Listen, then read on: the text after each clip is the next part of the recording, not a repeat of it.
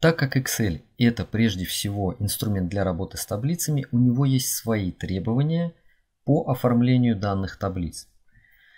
Первое, что э, следует запомнить, это то, что оформление таблиц э, важно только если эта таблица у вас рабочая, вы в дальнейшем планируете анализировать ее какими-то инструментами и средствами самого Excel. Если же это итоговая таблица, которую вы хотите в красивом виде показать руководству, распечатать и э, все в этом духе, то можно, в общем-то, вести так, как нравится, если вы не, не предполагаете с этой таблицей делать какие-то вычисления. Во всех же остальных случаях следует приучать себя к правильному ведению таблиц. Какие же правила сюда входят? Я перечислю несколько основных. Первое – это должна быть только одна строка шапки, то есть одна ячейка с заголовком, в котором вы указываете, что хранится в данном столбце. Да, 1С и прочие программы а, приучают нас, что шапка может быть многоуровневой, может быть 2, 3 и так далее строк. Но следует помнить, что в 1С эти отчеты являются результирующими, то есть а, там не предполагалось, что в дальнейшем эти таблицы будут еще чем-то обрабатываться. Поэтому одна строка шапки – это первое. Второе, в этой шапке вы должны давать понятные названия своим данным, чтобы только по одному названию было ясно, что хранится в этом столбце. При этом названия не должны повторяться. Не должно быть двух столбцов, например, с названием дата.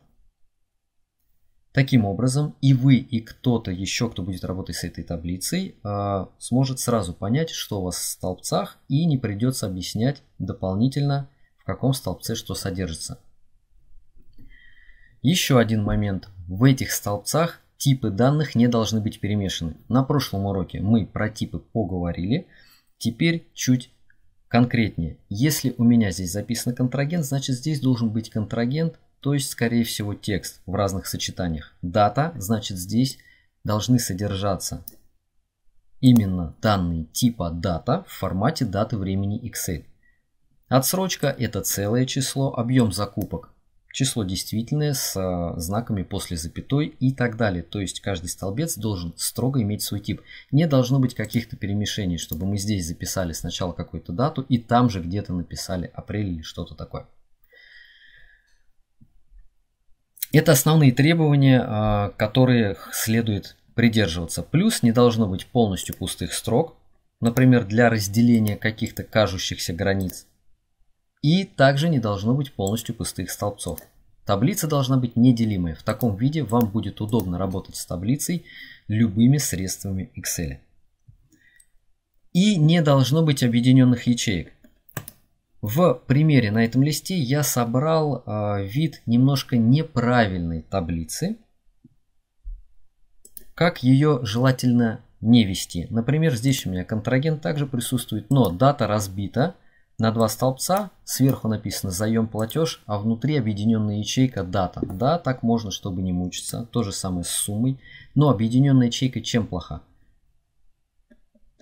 Если мы разъединим, то у нас по факту, во-первых, остальные ячейки без значений, а во-вторых, если мы будем пользоваться какими-то инструментами Excel, то он в качестве заголовка всегда видит только одну первую строчку. Поэтому и нужна только одна шапка без вот таких вот красивостей. Такие красивости нужны только в итоговом отчете.